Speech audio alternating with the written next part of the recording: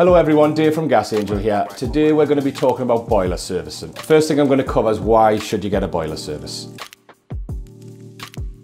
The first reason is if your boiler's under warranty, it's a requirement, you have to get it done. And um, if you don't, then your boiler warranty becomes invalid. The second and probably most frequent one that we'll get uh, calls for is just peace of mind, general peace of mind.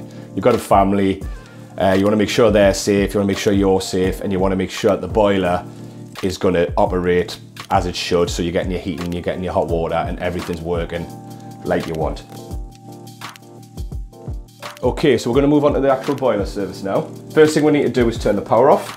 So we'll isolate the fuse spur and when we'll remove the fuse. If you just isolate it and don't remove the fuse, obviously you can quite accidentally just knock that back on and then it's alive again. Turn the fuse off and remove the actual fuse.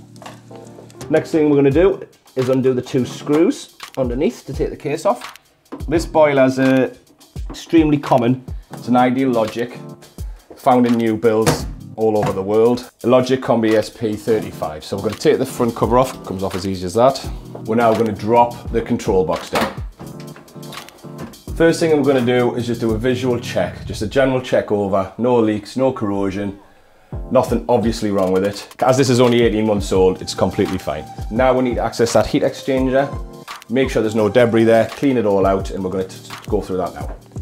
So step one, we'll take the sump cover off, just two screws, I would just add, this isn't a how-to video, it is simply just showing you what a boiler service entails.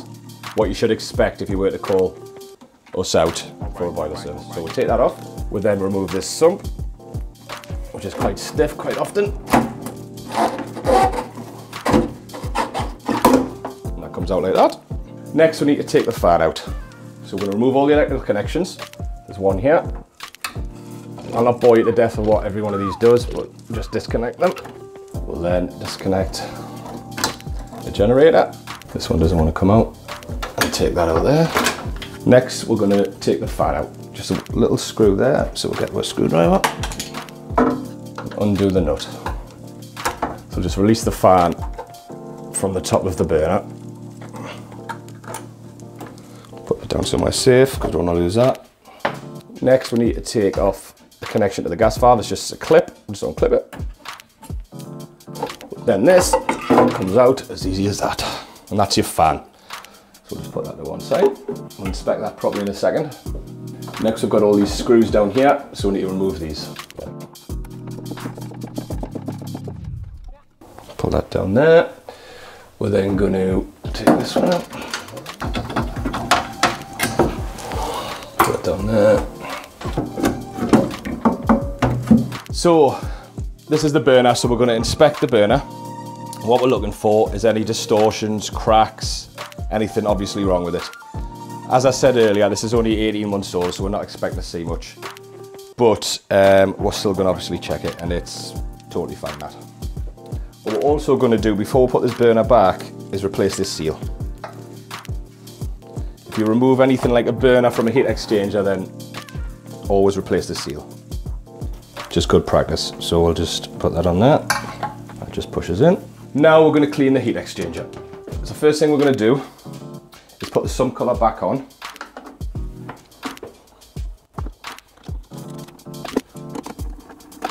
And as you can see, it's hard to access this um, heat exchanger. You can't actually get in and clean it from the front. So what we're going to do is we're going to pour water down the top of it and flush any debris out. It's going to come through into the sump, out into the condensate trap and through the pipe. Once we've done that, we'll actually clean the condensate trap out at the end. Um, so what we need is we need a kettle of water. We've got a warm kettle of water and we're just gonna pour that into the heat exchanger. And we'll be able to visually see what's coming through, what debris is in there, and just actually scrap that, it doesn't fit. Right, so we've got this old milk bottle, um, and we're gonna pour the water from it, which is warm, into the heat exchanger. And this will just flush out any debris, go through the condensate trap, and like I say, just give it a good clean out. We'll just pour that in. I'm just looking to see what's coming through. And as expected, it's pretty clean. There's nothing much in there. Just carry on flushing that through. Now while that's flushing through, I'm going to inspect the condensate system. Make sure nothing's leaking, that it's running out okay. Now you've probably noticed the colour of the trap's changed. It was crystal clear before, now it's a bit murky. Yeah, That's just because we've cleaned all that debris out. Once that's done, obviously we've now got all this debris inside the trap. I'm gonna remove that. So we'll remove this elbow. Again, always inspecting it.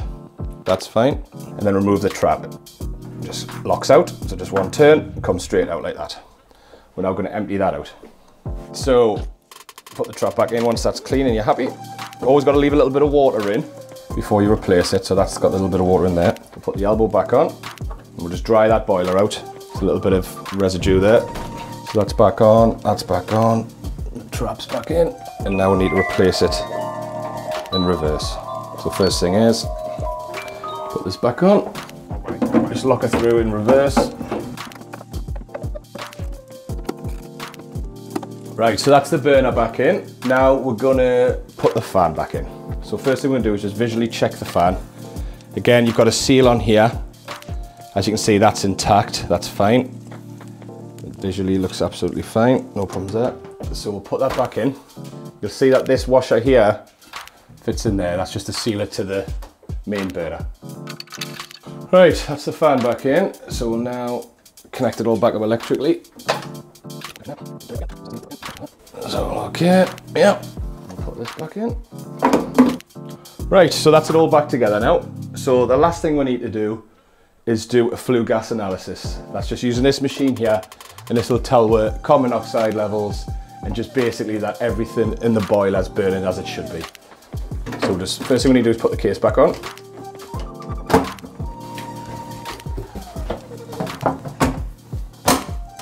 Put the power back on, so put the fuse back in. Boiler on. We're just checking that everything's sealed properly, which it is. And then we're going to run the hot water on maximum. So you can see the boiler's fired up, hot water's on, and the flame's away. So now we need to turn on the flue gas and analyzer, and we need to purge that. So we need to do that in fresh air. That takes about two minutes. So okay, that's the analyzer purged. So now we're going to put it into the test point there and just analyze the flue gases leaving the boiler. So just remove the test point. Keep that somewhere safe, definitely that safe. Put the flue gas analyzer in. And as you can see, we're just waiting for the readings to come up here. So we'll give that a couple of minutes and then just take the readings and make sure they're passable. While that's running, we'll just do some other checks. So we're looking at the pressure.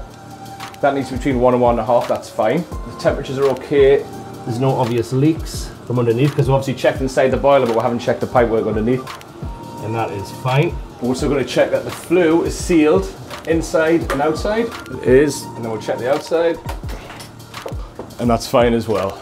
And all those readings have passed, so that's great. We'll put the test point back on. Very, very important that this goes back on, otherwise that's potential carbon monoxide come back into the room. So we'll seal that. Okay, so that's the service done. Uh, I've cleaned the heat exchanger out. We've done the flue gas analysis. We've checked it for leaks, checked it for safety. Everything's working great. We've tested the central heating, we've tested the hot water, and everything's working as it should. So this has got a good pass. Because the boiler's under warranty, we also need to fill in his manual, his installation manual. As I said earlier, if your boiler's under warranty, then you must have it serviced. This is your benchmark, so the commissioning data. And on the other side is a service history. Every year that gets filled in. So we're gonna fill that in now, and then he's good to go. If the boiler was to break, Ideal would come out and they'd say, can I check your service history? If it wasn't filled in, they might not fix it. So that's that. Right, thanks for watching the video everyone. If you do require a service, uh, visit gasangelheating.co.uk. We'll actually have a special offer on at the minute where you will receive a half price boiler service, so £35 for your initial service when you sign up onto our service plan, which is then five, £5 a month thereafter, with lots of other added benefits. So please visit the website gasangelheating.co.uk and thanks for watching.